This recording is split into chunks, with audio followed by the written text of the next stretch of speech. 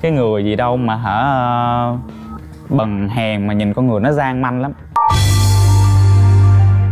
Em tên là lê quốc dũng còn đây là anh của em là lê quốc hùng. Hùng dũng. Hồi xưa phải chi mà ba mẹ đặt tên mà quế diệu quế vàng Nói là bây giờ đâu có sao gì. mà nghe hùng dũng mạnh mẽ quá vậy? Đó. Rồi bọn em bây giờ bao nhiêu tuổi và làm công việc gì hả? Dạ tụi em là hiện tại năm nay là 25 tuổi sinh năm 94 em ờ, hiện tại đang là DJ còn, ra DJ à, còn em đang là một giáo viên tiếng nhật với lại tiếng anh. Hai anh em công việc khác nhau như vậy có nghĩa là cái cái tính cách của hai người cũng khác nhau đúng không? Dạ đúng rồi. Từ nhỏ là hai đứa em đã có hai cái cá tính hoàn toàn khác nhau rồi. Là một đứa thì ờ, cá tính nổi một đứa thì cá tính đầm. Em nổi phải không? Dạ lâu lâu em cũng đầm chị. Nhưng mà đầm dạ hội đầm đuôi cá đồ đó. Nhưng mà bình thường là em nổi bật dạ. cái đó em mặc đồ là biết rồi màu tím Dạ. trắng là biết rồi. Dạ tím riệm dạ. Là cưng là làm sao? Cưng là là hiền diệu à dạ em hiền là tại nhỏ em thích chơi thu bông nhiều và em đi tông thì mỹ phải không? Dạ tông thì mị nhiều hơn. Thích làm công chúa không? Thích công chúa nhưng mà sợ không nói công chúa như chị. Hồi nhỏ nha chị là coi như là hai anh em á là thường ờ, hay dùng mấy cái mền á để làm đầm làm công chúa đồ quấn các thứ đồ phân vai ra là đứa làm tỷ tỷ đứa làm muội muội. Các em kể gì nghe có một hôm vui lắm. Tại mới nghĩ với cái trò là coi như là đứa nào ở trong mền mà kéo được đứa khác ra khỏi cái mền nó ra khỏi. thì cái thì đứa đó sẽ thắng. Thì cái lúc đó là em đang ở trong mền nó ở ngoài cái xong rồi nó mới kêu hùng ơi ra đi mẹ kìa. Cái em mới không tin em mới hí hí ra như này chị. Cái cái ánh mắt nó nhìn gì nè cái mắt em diễn lúc đó ghê lắm. Mẹ mẹ thiệt. Cái em mới sợ quá em chạy ra, em chui ra thì em có đó thua. Thì khi mà tới lượt em, nó vô trong cái mền á, chị biết á là ba em cầm cái cây đi vô thiệt. Ba em cầm cái cây đứng khỏi vậy nè. Cái em mới đâu dũng ơi ba tới kìa lúc mà đó em em, mà em nghe cái tiếng cây cỏ mà em cứ nghĩ là nó ở ngoài nó lấy cái cây À, nó bỏ. Ờ, nó, Trời, em nó không mắc không cười tin, không mà tin, em không vừa tin, sợ. không tin. mà em không biết phải làm cái vẻ sợ thật sự cho sao tại lúc đó em mắc cười lắm. Ba thiệt là dũng ơi nói thì trong mình. Không không không không không tao không tin tao không tin không tin. Em như một con khùng trong mà trong điệu nước nhưng ngoài mà điệu quá. Chết rồi. Cuối cùng ba dí đánh hai đứa là luôn coi như là bung ra luôn rồi. Ông biết không? Còn nhỏ mà. Còn nhỏ thì giống như là một đứa con nít thôi. Nhưng mà thằng này thì có phần có cá tính là hơi yểu điệu hơn tí xíu so với em. Cho nên là ba thường hay nói kiểu như là dũng ơi mày à, phải giống hùng nha mày phải giống anh mày nha chứ mày đừng có bd dạ. Lúc đó là em nghe cái xong hả em cũng đứng hình.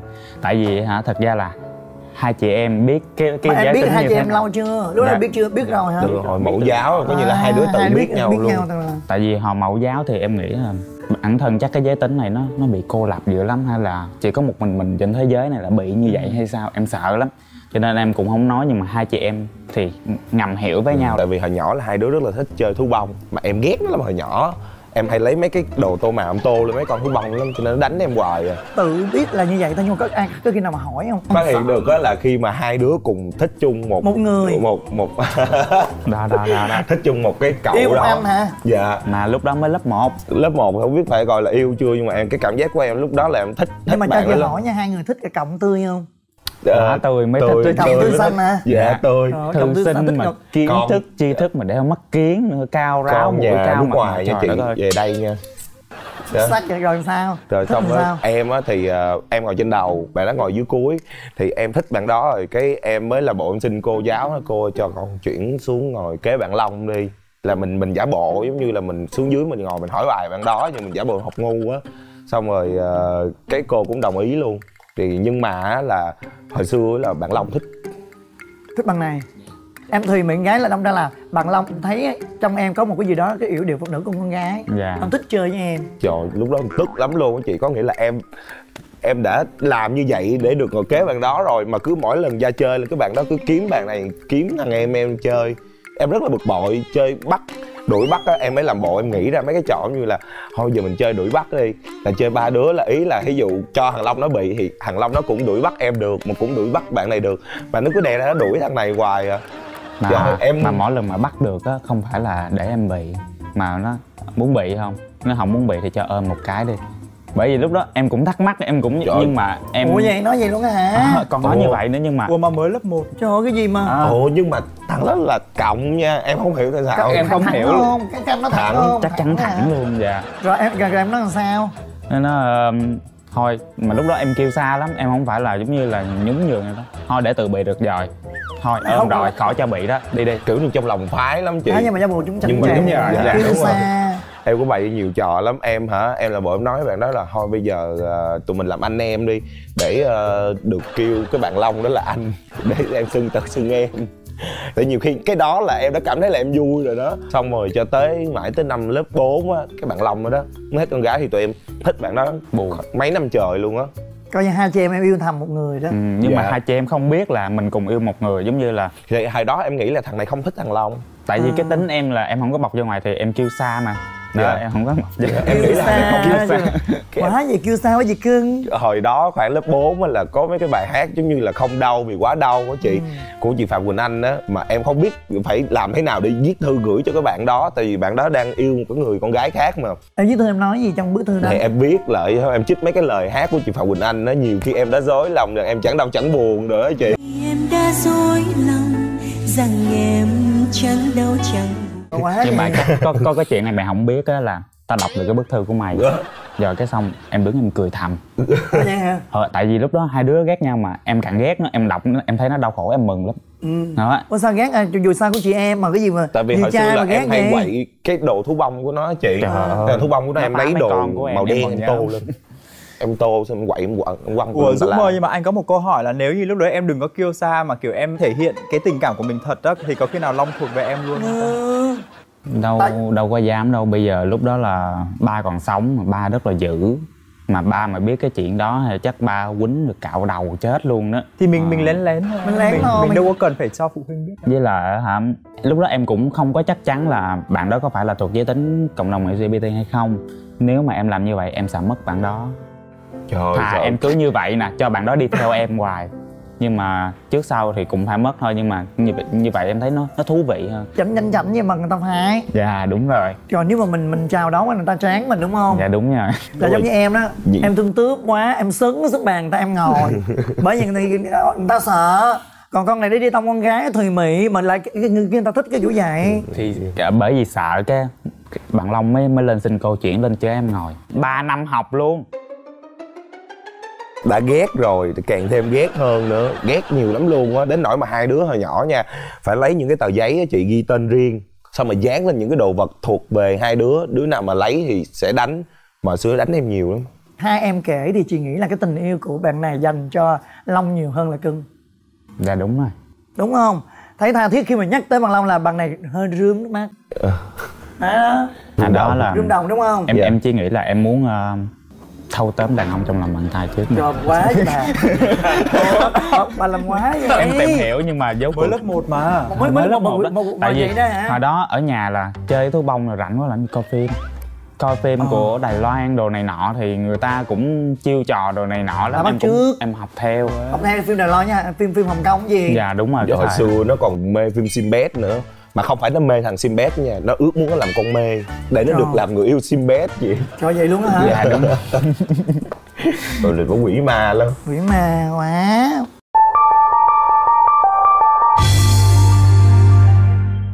Ủa rồi đến bao giờ thì à, hai hai bạn mới có được cái tình yêu đầu tiên của mình? em cũng không nhớ nữa tại vì những cái mối tình của em thường nó rất là bấp bênh đó chị. Tới lớp 11, 12 lần thì em mới bắt đầu em yêu một người. Thì à, khi mà em yêu á là em không có biết là người đó có có gia đình rồi.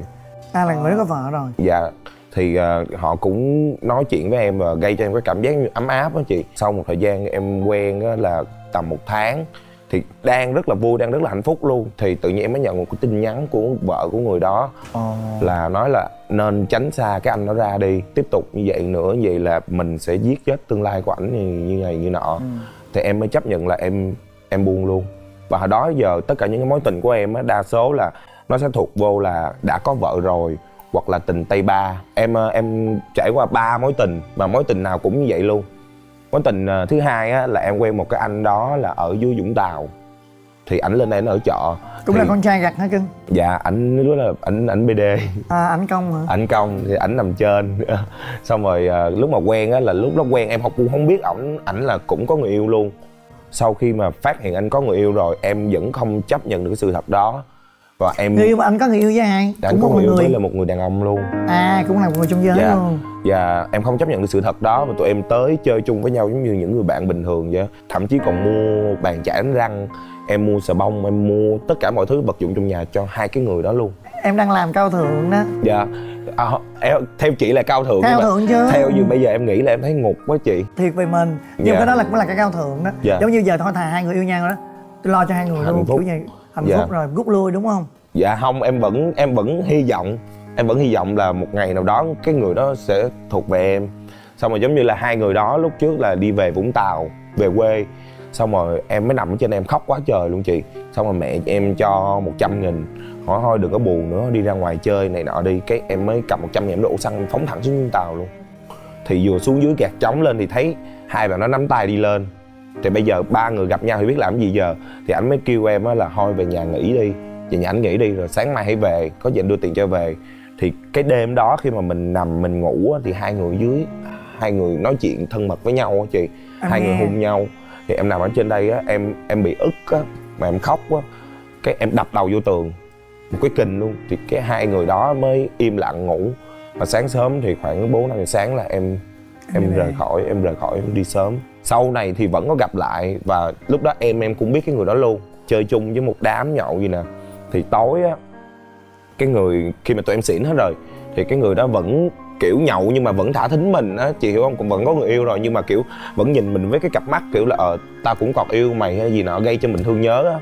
Tối đó em mới phát hiện ra là cái anh đó khi mà bồng em lên giường xong rồi bồng em em lên cũng hung thằng em em luôn. À là tính người đó là không không không đàng hoàng. Dạ không đàng hoàng. Cái đêm đó nó về nó buồn á. Cái mẹ em ấy nó ờ, an ủi nó đi. Thì em lúc đó vẫn giống như là còn ghét giống như là khó chịu nhưng mà em vẫn nói một câu nhẹ nhàng em cầm cái càm nó lên, em nói một câu. Có những thứ trên đời còn quan trọng hơn cả tình cảm nữa hùng. Tỉnh dậy đi. Lúc đó nó mới, từ cái bậc thang nó đứng dậy và đi thẳng lên phòng. Chứ không ai kêu nó lên phòng được. Là từ đó về sau là nó chỉ nghe lời có một mình em thôi.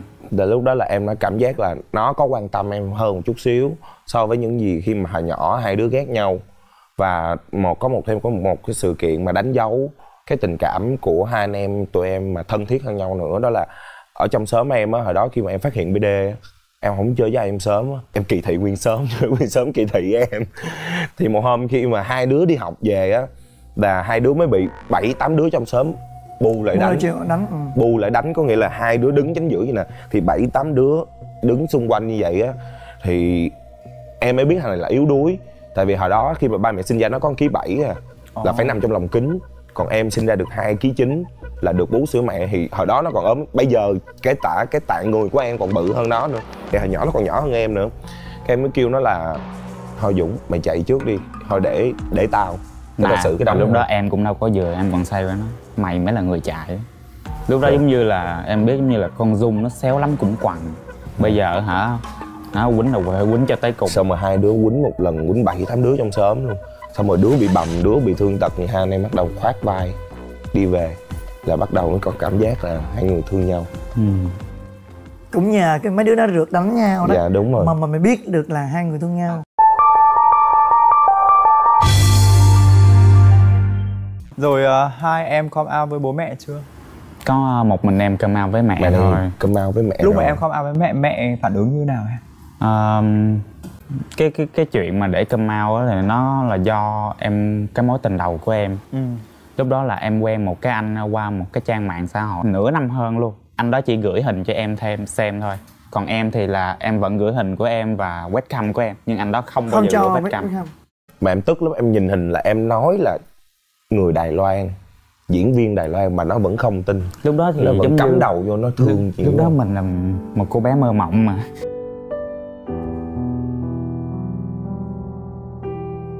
mình giống như là có mà một là cuối cùng là người đàn ông hả? Cô bé mơ mộng. dạ có nghĩa là lừa tình. À, tình. rồi tình. à, kể câu chuyện nào thì nó gửi cái hình đó thì nó giống đâm ra giống như nó thật quá nó nói quá thật với em. Giống như mình đang logic quá đúng không? Đang em logic không quá không với lại mình mà- tưởng tượng như là mình hả thật ra quá quá may mắn trong cuộc đời này gặp được một cái người hả gì mà Vừa hả đẹp.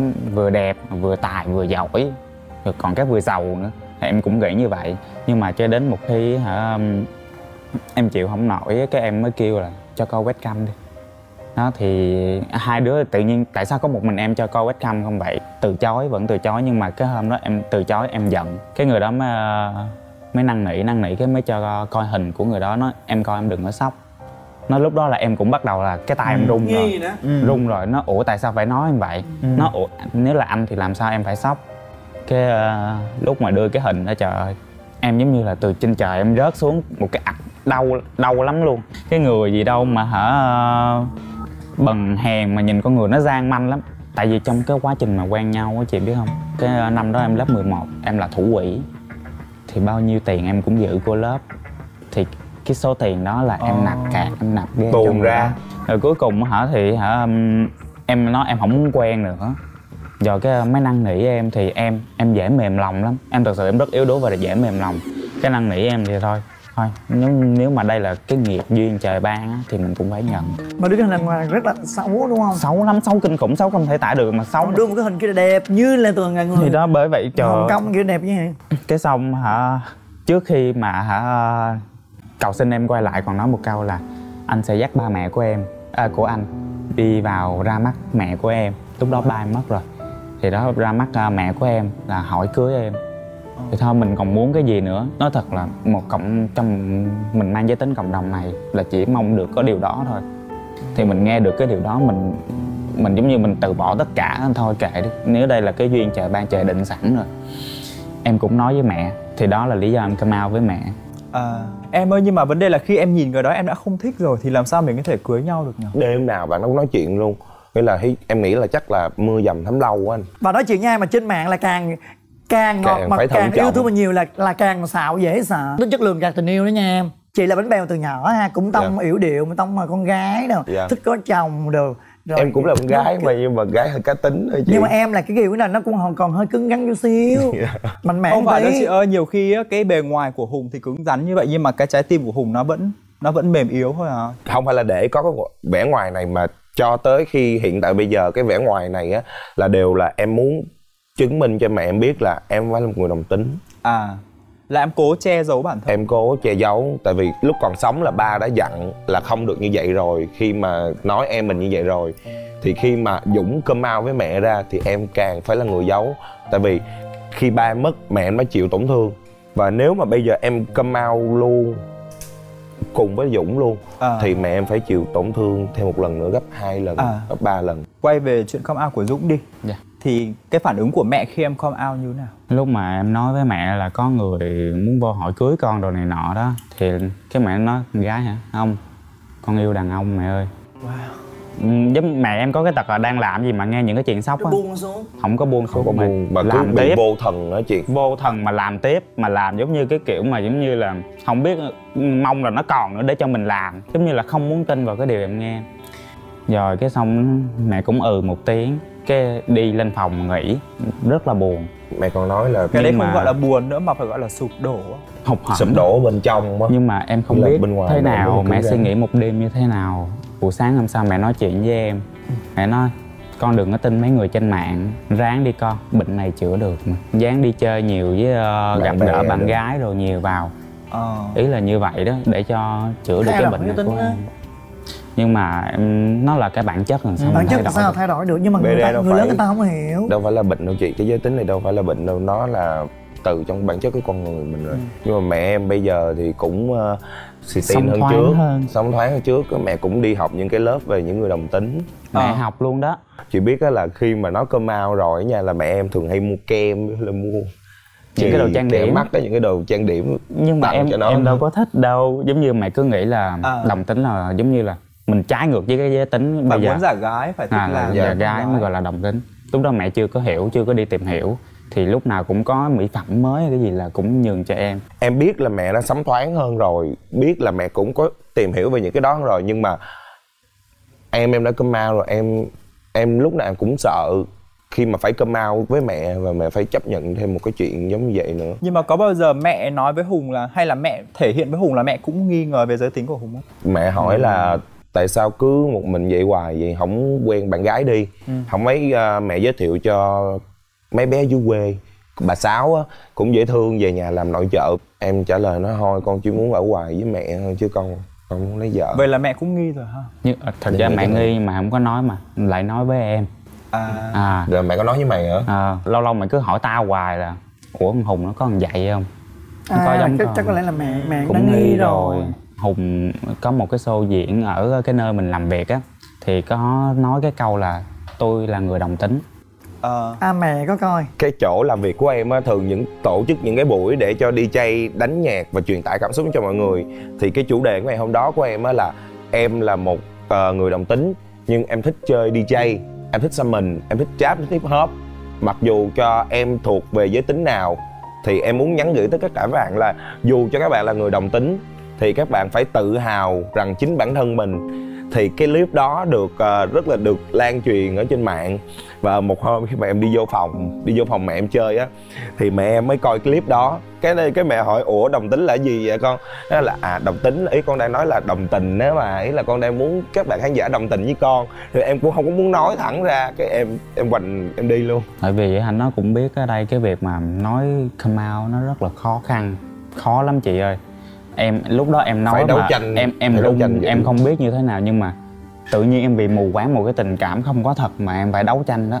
Mà em dám nói ra cái con người của mình cho mẹ nghe là như vậy. Mình cứ cũng nhờ các bạn đó mà em nói được. Dạ. Em em mạnh mẽ em nói với mẹ. Em thích em giấu luôn cũng được. Tại vì em không có muốn làm mẹ buồn. Giấu luôn thì bây giờ em giấu suốt đời được không em cũng đâu có giấu suốt đời được đâu đúng không? Thì em cũng chứ sao vậy. mẹ? cũng biết em lớn lên nếu em em giấu thì mẹ cũng bắt em phải cưới vợ. Lúc đó là còn làm khổ nhiều người. Thà là em nói mẹ em buồn lúc đó nhưng mà về sau này từ từ nó cũng sẽ nguôi ngoai đi. Có nhiều người trong cộng đồng LGBT mình vì gia đình là gay vẫn lấy vợ bỏ vợ con đi quen một người khác. Như vậy là càng làm khổ nhiều hơn nữa. Như vậy rất là tội nghiệp cho người phụ nữ. Hồi em học cấp 3 là em cũng có một cái người bạn mà ba bạn đó là người đồng tính á bạn đó bị phải đi học mà phải sống xong cái kiểu mà bị dèm pha á. trời ơi, nó trời ơi, đồng tính với đặt lấy vợ đẻ con rồi cái chị chị chỉ này. Kiểu nó tội nghiệp đúng không kìa chị. Đó rất là nhiều người á mà đồng tính mà bị ép lấy vợ đó. Hùng có thể mường tượng ra được mẹ của hai hai bạn sẽ như thế nào khi mà hùng come out rồi em hả? Em cũng không biết nữa. Em hy vọng đó sẽ là một cái tâm thái thôi. Mẹ biết lâu rồi em em hy vọng với một cái tâm thái vậy nó sẽ không phải là một cái tâm thái nặng nề như là dũng. Em không thích như vậy. Em cứ thể hiện từ từ cho mẹ biết đi. Những làm những cái hành động để cho mẹ mình nghi dần mình dạ. để mẹ không bị sốc. Dạ. Thật ra bây giờ nói về nghi dần thì mẹ của hùng cũng nghi rồi. Mình làm cho nhiều hơn nữa để để cho mẹ chắc chắn là à, con mình là vậy. Để khi mà mẹ biết rõ ràng mẹ không bị sốc nữa. Dạ. Vậy ờ, thôi thì bây giờ có thông qua chương trình á hùng có muốn nhắn gửi trực tiếp đến mẹ mình luôn không?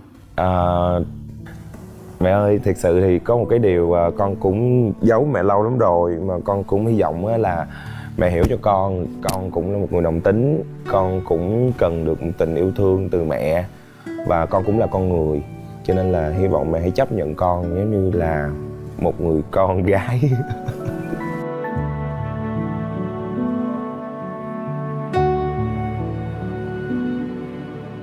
à, khánh chi nghĩ là à, mỗi người sinh ra không ai lựa chọn được cái giới tính của mình. Và cũng ai không ai mong muốn mình là một người trong cộng đồng LGBT à, bản thân khánh chi cũng vậy. Rất mong muốn mình sinh ra mình là một người con trai thật sự hay là một người con gái thật sự. À, đó là cái số phận của mình thì mình phải chấp nhận. À, khánh chi mong rằng cô hãy yêu thương à, hai em và hãy sống thoáng và suy nghĩ là dù là gay hay là con trai hay là con gái miễn sao mình sống tốt là mình cảm thấy mình vui và hạnh phúc. Con nghĩ là tất cả mọi người đang rất là đón nhận những người trong cộng đồng LGBT và cho dù cái ước mơ sau này nó sẽ không giống như những điều mà cô đã từng mơ ước, nhưng mà cháu tin là hùng và dũng sẽ vẽ cho cô những cái ước mơ khác. Nó cũng rực rỡ và vui vẻ, chỉ là nó không giống như những điều mình đã từng hy vọng. Nhưng mà những điều ở tương lai đây nó cũng rất đáng để cô hy vọng. Cháu cảm ơn cô đã chấp nhận hai em. Khi mà em muốn cho mẹ biết là cái người ở trong cái giới tính này á, họ cũng sẽ làm được những điều phi thường sau này em phải làm cho mẹ em tự hào. Và em ờ, mong ước là tất cả các bạn hãy ờ, mạnh dạn bước ra ánh sáng để ờ, sống thật với lại cảm xúc của mình. Đừng để nó bị chôn vùi quá lâu rồi sẽ cảm thấy đó là một cái gánh nặng ở trong cái tâm hồn của mình. Còn đối với em thì cái mong ước của em bây giờ không còn gì nữa. Tại vì em sao nhà sao như sung cơ em em có rồi. tất cả rồi. À, Em à, em có viên được- mãn á đúng không? em có được rất là hài lòng với cái hạnh phúc hiện tại của mình được mẹ chấp nhận rồi được có người yêu thương mình đi đến cuối cuộc đời cũng hơn 8 năm rồi. 8 năm rồi à. Có định ờ, làm đám cưới không? Đám cưới của em á, thì làm đơn sơ lắm là do một trụ trì của một cái Là em tổ Ờ, chức rồi hả? dạ em tổ chức rồi. Chỉ có um, vài người bạn trụ trì đứng ra chúc phúc cho hai em. Chị thay mặt chương trình chúc hai em nhiều niềm vui và hạnh phúc. Và chúc cho em với người bạn đời của em sẽ trăm năm hạnh phúc sống tới ngày tới già luôn ha. Dạ